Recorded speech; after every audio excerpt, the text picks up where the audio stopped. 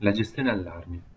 La finestra gestione allarmi mi permette di avere evidenza degli allarmi inseriti fino a quel momento e dello stato in cui si trovano, quindi se sono attivati o sono ancora in attesa di attivazione. Per accedere ho due alternative. La prima, la più veloce, mi permette di richiamare la finestra di gestione allarmi tramite l'icona dedicata presente nella barra delle icone. Come sempre il tooltip mi aiuta a identificarla meglio nel caso avessi qualche dubbio. Diversamente posso passare dal menu di navigazione cliccando sulla voce Prima Servizi e poi su Gestione Allarmi. Vedremo comparire all'interno della piattaforma la nostra finestra di dialogo.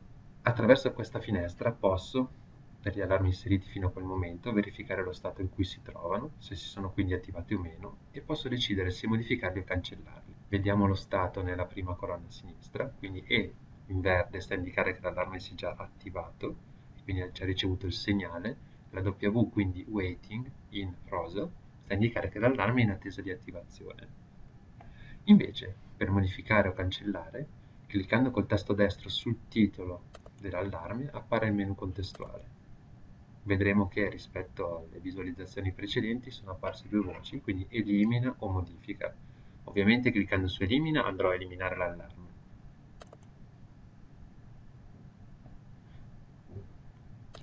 Vediamo che CHL Industrial verrà modificare lo stato in D, quindi cancellato.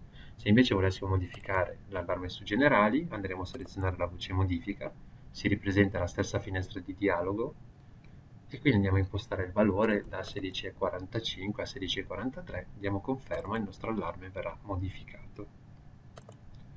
Segnala inoltre che anche da qui, sempre dal menu contestuale, è possibile inserire un nuovo allarme su uno dei titoli per cui era già presente un allarme, quindi senza doverlo andare a richiamare dai tabelloni.